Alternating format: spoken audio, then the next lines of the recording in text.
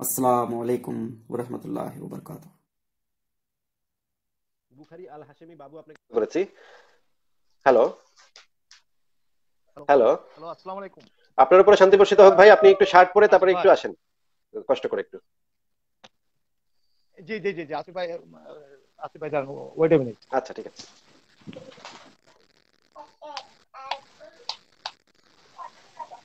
এই আসিফ ভাই কেমন আছেন আপনি? হ্যাঁ ভাই ভালো আছে। আসিফ জি জি ভালো আছেন আসিফ ভাই? হ্যাঁ হ্যাঁ ভাই ভালো আছে। আপনি ভালো আছেন? আসিফ ভাই? হ্যাঁ ভাই আপনি কি শুনতে পাচ্ছেন আমার কথা? আসিফ ভাই আপনি আপনার সাথে আমি আপ- আপ- আপনার অনেক আমি প্রোগ্রাম এবং লাইভ দেখছি এবং এটার ভিতরে আমার অনেক অনেক জিনিস ভালো লাগছে। কিন্তু যদিও as a by born I Muslim কিন্তু আমি মুমিন না। আচ্ছা আচ্ছা। কথাটা বুঝতে পারছি আসিফ ভাই? হ্যাঁ, কথাটা হলো কি আমি আমি আসিফ ভাই একটা কথা কি যেহেতু কোরআন এন্ড হাদিস ইট ইজ পারফেক্ট কিন্তু we are not perfect we are not good Muslim আচ্ছা আচ্ছা। যদি আমরা ঠিকমতো কোরআন এবং সুন্নার অনুসারী হইতাম এবং সেরকম ভাবে যদি তাদের ইনস্ট্রাকশনগুলো আমরা মেনে চলতাম তাহলে আমরা মমিন বলতে পারতাম। কিন্তু। যেখানে আমরা প্রত্যেক প্রত্যেক পাঁচ ওয়াক্ত নামাজ পড়ি মসজিদে গিয়ে যেখানে আমরা সুরা ফাতিহার অর্থটা পর্যন্ত আমরা জানি না শুধু রিসাইট করতে পারতেছি কিন্তু জানি না হোয়াট ইজ রিটেন ইন সুরা ফাতিহা। তো সেটা না জানার কারণে আমরা মসজিদ থেকে ঠিকই বেড়ে হচ্ছি কিন্তু আইসাই দেখি গালাগালি বকাবকি একে অন্যের পর পর চর্চা পর সমালোচনা করছি। তাহলে এটা তো it is not symbolic of Muslim মানে আপনি মানে মুসলিম হতে চান তো সহি মুসলিম তো মুমিন তো হতে চান আপনি তাই না নাকি? জি জি জি। না আচ্ছা, আমি আমার তাহলে আপনি যদি সহি মুমিন হতে চান তাহলে সহি মুমিন হতে গেলে তো ভাই আপনার উচিত যে আমার মতো যারা আছি আমরা যারা ইসলাম ধর্ম ত্যাগ করেছি আমরা যারা ইসলাম ধর্ম মানি না তাদেরকে কতল করা তাদেরকে গর্দান উড়াইয়া দেওয়ার চেষ্টা করা।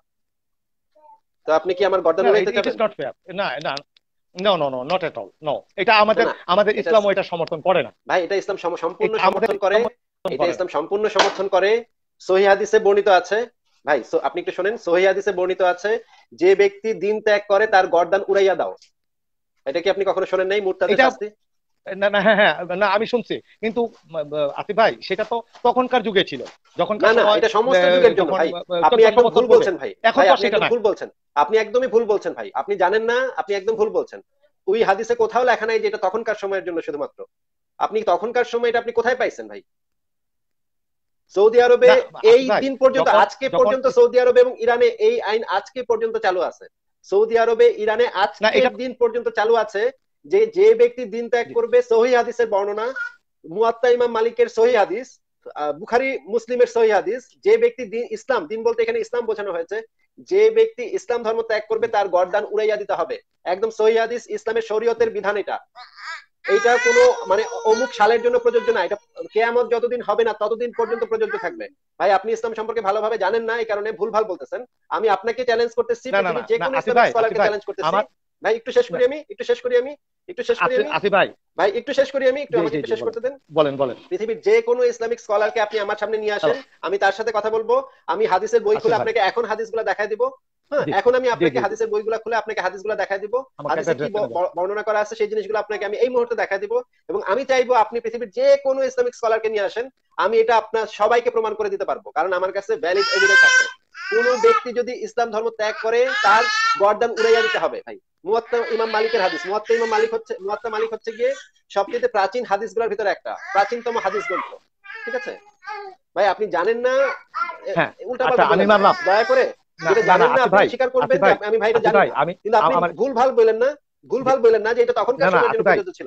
ভাই এই হাদিসের কোথাও লেখা নাই ইসলামের কোথাও কোনো জায়গায় লেখা নাই যে এটা শুধুমাত্র সেই সময়ের জন্য প্রযোজ্য। আপনি এটা ভাই নিজে নিজে বানায় বানায় বলছেন ভাই। ভুল ভালো বলেন না বা মিথ্যা বলেন না ইসলাম সম্পর্কে যে আপনি মিথ্যা বলেছেন যে এটা সেই সময়ের জন্য প্রযোজ্য ছিল। ভাই আমার কথা একটু শেষ না, শেষ। করে নি তারপর আপনাকে আমি সুযোগ দেব বলার আবার আবার সুযোগ দেব ভাই I am not telling a lie আপনি আমার আমার লেকিংস আছে আচ্ছা, ইসলামের একটু শেষ করি ভাই আমি একটু শেষ করি। আপনি বলেছেন যে এটা সেই সময়ের জন্য প্রযোজ্য ছিল। এটা ভাই আপনি হাদিস সম্পর্কে হয় জেনে অথবা না জেনে মিথ্যা কথা বলেছেন। হয় আপনি জ্ঞাত হয়ে অথবা অজ্ঞাত ভাবে মিথ্যা বলেছেন ভাই।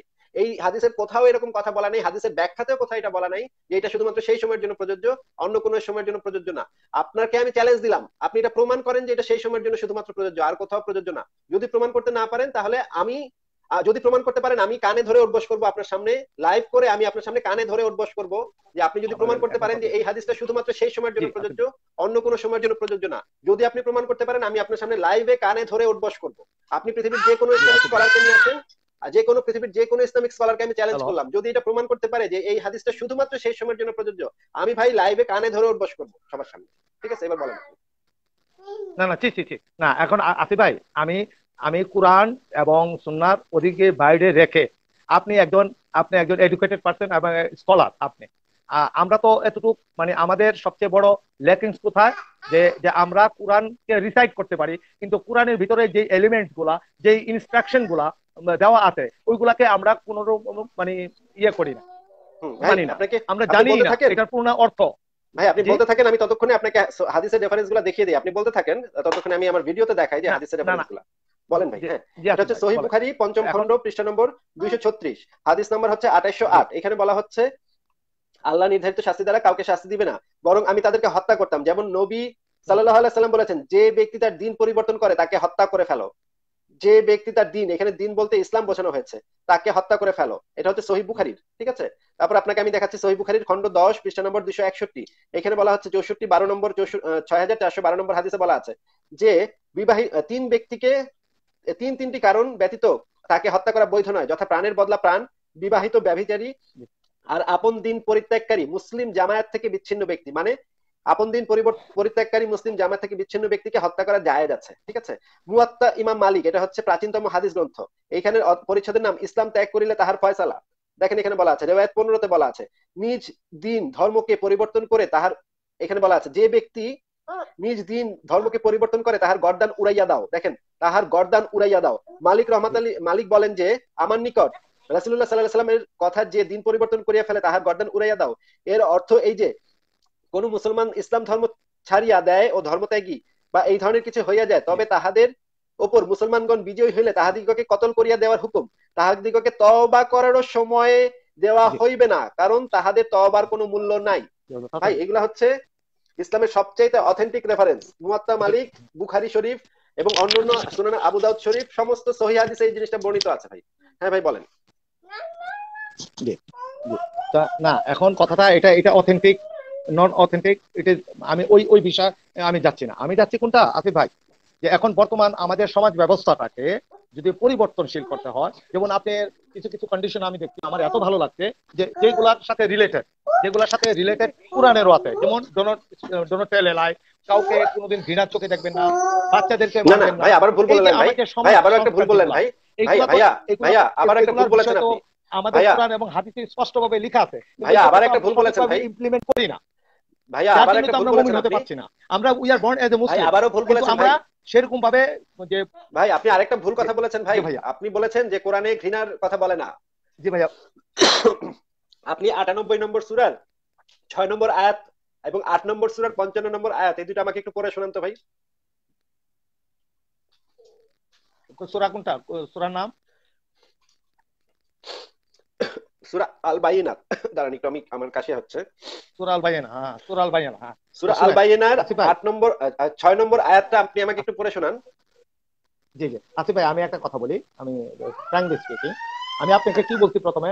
যে আমি এজ এ বর্ন মুসলিম কিন্তু আমি কোরআন সম্বন্ধে শুধু আমি রিসাইট করতে পারি। ওটার আরবি ই করতে পারি কিন্তু ওটার অর্থটা আমি জানি না। আমি কি বললাম আপনি এই জন্য আপনাকে আমাদের মেজরিটি মুসলিম যারা নামাজ পড়ে যারা মনে করেন মসজিদে যায় তারা সুরা ফাতিহার অর্থটা পর্যন্ত জানে না। যে ওখানে কি লেখা ঠিক বলেছেন প্রত্যেকটা নামাজের সুরার ভিতরে যে যেই ইনস্ট্রাকশনগুলো দেওয়া আছে এগুলো তো আমরা জানি না। আমরা শুধু মানে নামাজ পড়ি মাথা ঠুক দেই সেজদা করি অতটুকু পর্যন্ত। কিন্তু ওইখানকার তো। যে সমস্ত সুরাতে ইনস্ট্রাকশন দেওয়া আছে ওইগুলো তো আমরা ফলো করি না। হ্যাঁ, এই জন্যই তো কোরআনে তো বলা আছে কোরআনে তো কোরআনে তো অত্যন্ত সাম্প্রদায়িক এবং ঘৃণার কথা বলা আছে। এই জিনিসটা তো তাহলে আপনার আপনি কীভাবে বুঝবেন? আপনি তো যদি কোরআনটা ভালোভাবে বুঝে না পড়েন সূরা আল বাইনার ছয় নম্বর আয়াতে বলা আছে আহলে কিতাব ও মুশরিকদের মধ্যে যারা কাফের তারা জাহান্নামের আগুনে স্থায়ীভাবে থাকবে। তারাই সৃষ্টির নিকৃষ্টতম জীব। তারা হচ্ছে সৃষ্টির নিকৃষ্টতম জীব মানে কুত্তা বিলাই শিয়াল শকুন সবার থেকে খারাপ। এবং তাফসিরে ইবনে কাসির এবং তাফসিরে জালালাইনে বলা আছে যে তারা হচ্ছে মানে একদম সবচেয়ে নিকৃষ্টতম যে জন্তু জানোয়ার আছে তাদের থেকেও অমুসলিমরা হচ্ছে নিকৃষ্ট।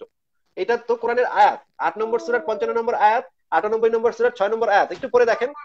সেখানে আচ্ছা অমুসলিমদের সম্পর্কে অত্যন্ত ঘৃণার অত্যন্ত নোংরা সাম্প্রদায়িক বর্বর কথা বলা আছে।